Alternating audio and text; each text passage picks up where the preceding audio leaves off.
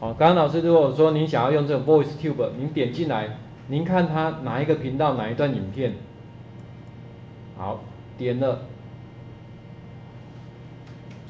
好，直接选一个好的哈。假设你要这一段，可是其实当然它影片是来自 YouTube 没有错啦，但是呢，它并不是 OneNote 资源的影片类型，好，因为 OneNote 资源的影音网站只有两个，YouTube 还有一个叫 Vimeo，V-I-M-E-O，好，那没有怎么办？没关系，它就是网页嘛，所以呢，我们来这边，比如说我在这边新增单元，就不是影片，而是网页，这样子按储存，点到这里。贴上，有没有一样进来？内容有没有都在下面？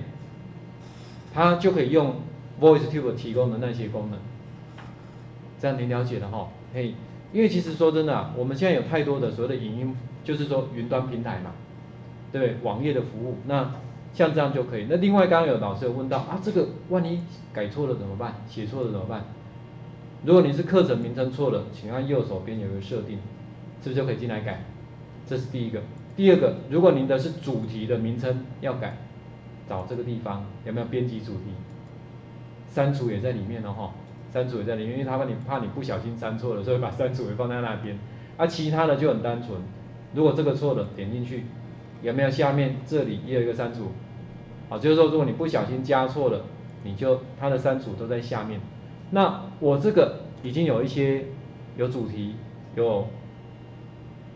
教材单元对不对？可是有没有发现还 not yet 还没准备好？为什么？因为啊，这是大家很容易不小心忘记的。当你编辑完了有改变的时候，有没有看到右上角有一个叫发布？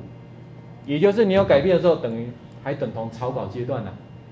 你要发布出去，发布了才算是公开的。应该说公布出去不一定公开，你可以选择非公开。比如说我这我的课程，我不想要公开给别人看。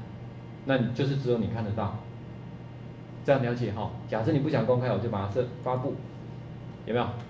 好，这样就可以了。那他就问你要继续还是回到课程首页？好，我就来到这边继续编辑。这个时候你回到外面的这个课程，有没有发现不一样？对不对？刚刚是南页，因为你还没发布过。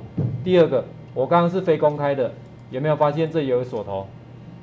如果是公开的，会变成蓝色的。好，会变成蓝色的，这样你应该就比较清楚一点了。好，这个是我们等于说我们刚刚有去订阅别人的课程，也有怎么样？你看这有订阅一个，对不对？也有自己建立一个，这样是不是 OK 的。好，所以这两个都准备好了，我们就可以来进到群组里面哦。待会就可以进到群组里面了哈。来，我把后面先还给您。